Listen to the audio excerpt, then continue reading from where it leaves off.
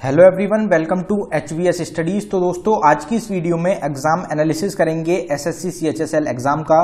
तो 30 मई को जो आपकी थर्ड शिफ्ट हुई है, उसमें जो भी क्वेश्चंस पूछे गए हैं, आज हम उनको इस वीडियो में कवर करेंगे। हमको जितने क्वेश्चंस मिल पाए हैं, उनको प्रोवाइड कराने की कोशिश की गई है।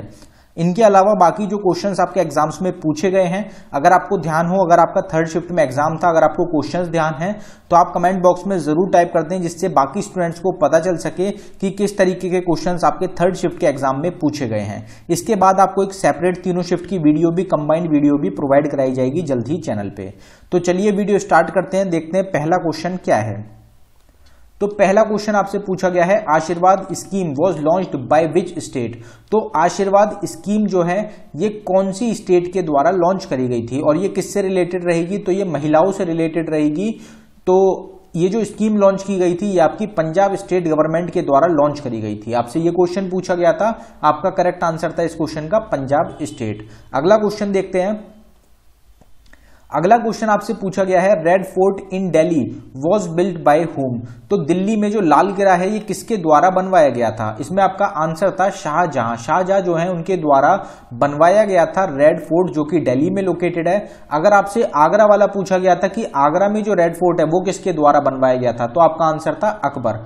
अकबर ने जो आगरा में रेड फोर्ट है वो बनवाया था और शाहजहां ने जो दिल्ली में रेड फोर्ट है वो बनवाया था। दोनों में दोनों में काफ़ी कंफ्यूजन होता है क्वेश्चन में तो आप इस चीज़ को क्लियर रखें। इसके अलावा बाकी अगर कुछ मॉन्यूमेंट्स की बात करी जाए, जो इंपॉर्टेंट रहते हैं, आगे आने वाली शिफ्ट में आपसे पूछे जा सकते हैं, उनकी बात कर लेते हैं।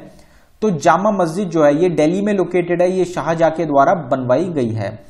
अगर जंतर मंतर की बात करी जाए जो कि दिल्ली में है तो ये सवई जयसिंह के द्वारा बनवाया गया है। मोती मस्जिद किसके द्वारा बनवाई गई है? दिल्ली वाली तो ये औरंगज़ेब के द्वारा बनवाई गई है। कुतुब मीनार जो है दिल्ली में, ये किसने बनाया है? तो कुतुबुद्दीन ऐबक के द्वारा, जो कि तुगलक डायनेस्टी के रूलर रहेंगे, पहले रूलर हैं तो इनके द्वारा कुतुब मीनार जो है उसको बनवाया गया है। अगर सन टेंपल की बात करी जाए तो ये कोनार्क में लोकेटेड है, जिसको कि कोनार्क सन टेंपल के नाम से भी जाना जाता है, और ये बनवाया गया था नरसिम्ह देव फ़र्स्ट के द्वारा। अगला क्वेश्चन देखते हैं हमारा। In how many ways can a player be dismissed in a cricket match? तो कोई क्रिकेट मैच में जो प्लेयर होता है, जो बैट्समैन होता है, वो कितने तरीके से आउट हो सकता है? साफ़ साफ़ आपसे ये क्वेश्चन पूछा जा रहा है। तो आज की शिफ्ट का ये क्वेश्चन रहेगा। आपका इसमें करेक्ट आंसर था फाइव वेज। पाँच तरीके होते हैं जिनसे आउट किया जा सकता है किसी बैट्समैन को क्रिकेट में। कौन कौन से पाँच तरीके रहेंगे तो वो आता तो वो रहते हैं आपके, एक तो बोल्ड बोल्ड कर देना कैच करना कॉट एलबीडब्ल्यू रनआउट या फिर स्टंप ये पाँच तरीके होते हैं जिससे किसी प्लेयर को, किसी बैट्समैन को क्रिकेट में आउट किया जा सकता है। तो जो आपके क्वेश्चन का आंसर था, वो था फाइव वेज या फाइव टाइप्स पाँच तरीके से किसी प्लेयर को आउट किया जा सकता है क्रिकेट मैच में। अगला क्वेश्चन देखते हैं हमारा। अगला क्वेश्चन आपसे पूछा गया उस्ताद Bismillah Khan is related to which musical instrument तो ये क्वेश्चन तीसरी या चौथी बार रिपीट हो रहा है आपकी शिफ्ट में एग्ज़ाम्स में सीएचएसएल के। तो बार बार क्वेश्चंस काफ़ी ज़्यादा रहेंगे जो कि आपके रिपीट हो रहे हैं। और ये जो टॉपिक रहा है म्यूजिकल इंस्ट्रूमेंट ये आपका सीएचएसएल एग्ज़ाम का मोस्ट इंपॉर्टेंट टॉपिक रहा है। इसकी सेपरेट वीडियो आपको चैनल पर प्रोवाइड कराई जा चुकी है। हमारा दूसरा चैनल है एच स्टडीज़ टू उसका लिंक आपको डिस्क्रिप्शन में मिल जाएगा चैनल का। आप उस पर जाके इन वीडियोज़ को देख सकते हैं। म्यूजिकल इंस्ट्रूमेंट काफ़ी ज़्यादा इंपॉर्टेंट एक टॉपिक रहा है। अभी तक हर एक शिफ्ट में दो से तीन क्वेश्चन आपके पूछे ही पूछे जा रहे हैं म्यूजिकल इंस्ट्रूमेंट से। और दूसरा जो टॉपिक रहा है आपका, वो रहा है बुक्स एंड ऑथर्स का ऑटोबायोग्राफी या फिर बुक्स एंड ऑथर्स का, जिससे आपके तीन से चार क्वेश्चन अभी भी शिफ्ट में, हर शिफ्ट में पूछे जा रहे हैं। तो पाँच से छह क्वेश्चन तो आपके इन दो टॉपिक से ही पूछे जा रहे हैं।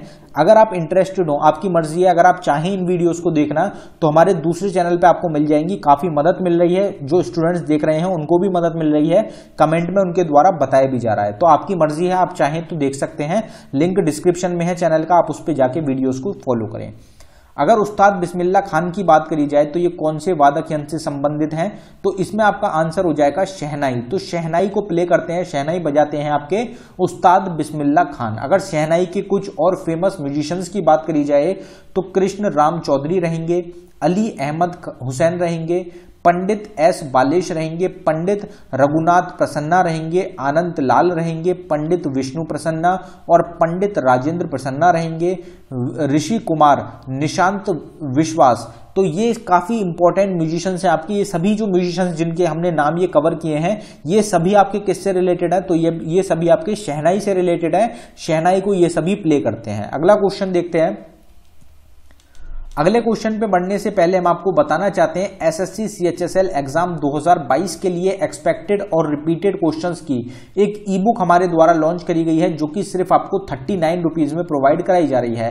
इंपॉर्टेंट क्यों रहेगी? क्योंकि जो हमारी टीम के द्वारा क्वेश्चन इस ई बुक में आपको प्रोवाइड कराए गए हैं, वो मोस्ट रिपीटेड क्वेश्चन है, जो कि बार बार आपके सीएचएसएल के एग्ज़ाम्स में पूछे जाते हैं।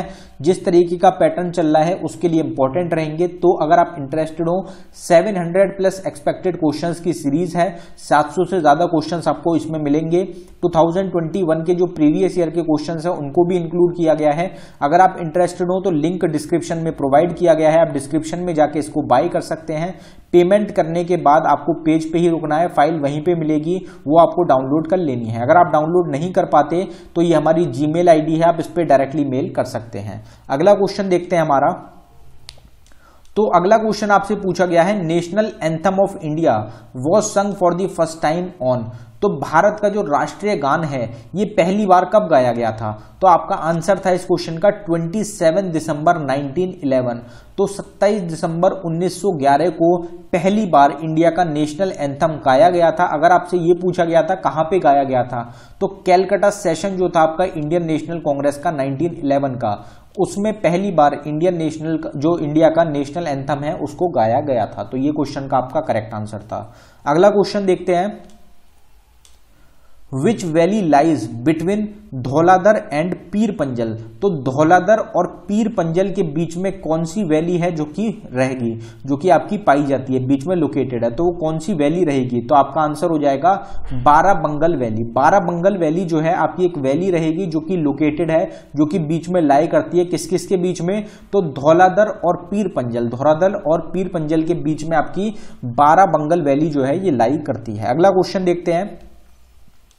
Who was viceroy of India at the time of formation of Indian National Congress तो इंडियन नेशनल कांग्रेस के फॉर्मेशन के टाइम पे मतलब 1885 के टाइम के करीब, जो वॉइस रॉय थे इंडिया के, वो कौन थे? ये क्वेश्चन आपसे पूछा जा रहा है तो आपका आंसर हो जाएगा लॉर्ड डफरिन लॉर्ड डफरिन जो थे, आपके वॉइस रॉय थे इंडिया के, कब? इंडियन नेशनल कांग्रेस के फॉर्मेशन के टाइम पे इंडियन नेशनल कांग्रेस फॉर्म कब हुआ? तो 1885 में। तो उस टाइम पे आपके लॉर्ड डफरिन रहेंगे। 1885 में ए ओ ह्यूम के द्वारा फॉर्म किया गया था इंडियन नेशनल कांग्रेस को, जिसके पहले प्रेसिडेंट थे आपके उमेश चंद्र बैनर्जी। अगला क्वेश्चन देखते हैं। अगला क्वेश्चन आपका बुक्स एंड ऑथर से रिलेटेड पूछा गया है और आपसे ऑटोबायोग्राफी से रिलेटेड भी क्वेश्चन कोई पूछा गया है। आज की शिफ्ट में, थर्ड शिफ्ट में ही आपके तीन क्वेश्चन स्टूडेंट्स के द्वारा बताए जा रहे हैं, बुक्स एंड ऑथर से पूछे गए हैं। तो इसकी जो सेपरेट मोस्ट इंपॉर्टेंट वीडियो है, वो दूसरे चैनल पे है एच स्टडीज़ टू पे। लिंक डिस्क्रिप्शन में है, अगर आपने वो वीडियो मिस कर दी। तो आप यकीन मानिए, आपके आगे आने वाली शिफ्ट में आपके जो दो तीन क्वेश्चन आप बिल्कुल आसानी से प्राप्त कर सकते हैं, वो आपका रह जाएगा। तो on the origin of species book written by Charles Darwin was published in which year तो on the origin of species जो बुक है, ये चार्ल्स डार्विन के द्वारा लिखी गई है। अब ये जो इन्होंने पब्लिश करी थी, ये कौन से साल में करी थी? तो 1859 में। 1859 में चार्ल्स डार्विन के द्वारा पब्लिश किया गया था बुक को, जिसका टाइटल रहेगा on the origin of species तो ये आपको ध्यान रखना है, इसी तरीके के क्वेश्चंस आगे आने वाली शिफ्ट के लिए भी इंपॉर्टेंट रहेंगे। अगला क्वेश्चन देखते हैं। Vijayanagara empire was established by तो विजयनगर एम्पायर जो है, इसकी जो स्थापना की गई है, ये किसके द्वारा की गई? आपसे ये क्वेश्चन पूछा गया, अगर आपसे ईयर पूछा गया था कि स्थापना कब करी गई तो आपका आंसर था 1336 1336 में स्टेब्लिशमेंट हुई थी विजयनगर एम्पायर की। किसके द्वारा की गई? तो हरिहर और बुक्का। इन दोनों के द्वारा, इन दोनों ने मिलकर स्टेब्लिशमेंट की थी आपकी विजयनगर एम्पायर की। Who is the author of the book a little book of India celebrating 75 years of independence तो अभी हमारी जो सेकंड शिफ्ट की वीडियो थी, उसमें ही हमने इस क्वेश्चन को कवर किया था कि a little book of India जो है, ये किसके द्वारा लिखी गई है? इसके ऑथर कौन है? तो हमारा आंसर हो जाएगा रस्किन बॉन्ड तो रस्किन बॉन्ड जो है, ये ऑथर रहेंगे आपके बुक के, जिसका टाइटल रहेगा a little book of India celebrating seventy five years of independence तो इसका आंसर था आपका रस्किन बॉन्ड इतने ही क्वेश्चन रहेंगे जो कि हमको मिल पाए हैं। अगर इन इनके अलावा बाकी क्वेश्चंस आपको ध्यान हो तो आप कमेंट बॉक्स में ज़रूर टाइप कर दें। जो हमारी ई बुक्स हैं, अगर आप उनको बाय करना चाहें तो उनका लिंक भी डिस्क्रिप्शन में है। आप उनको भी जाके डिस्क्रिप्शन में बाय कर सकते हैं। और जो हमारा दूसरा चैनल है जिसपे टॉपिक की वीडियोज़ मिलती हैं, उसका लिंक भी डिस्क्रिप्शन में प्रोवाइडेड है। तो आप डिस्क्रिप्शन को ज़रूर एक बार चेक करें। धन्यवाद।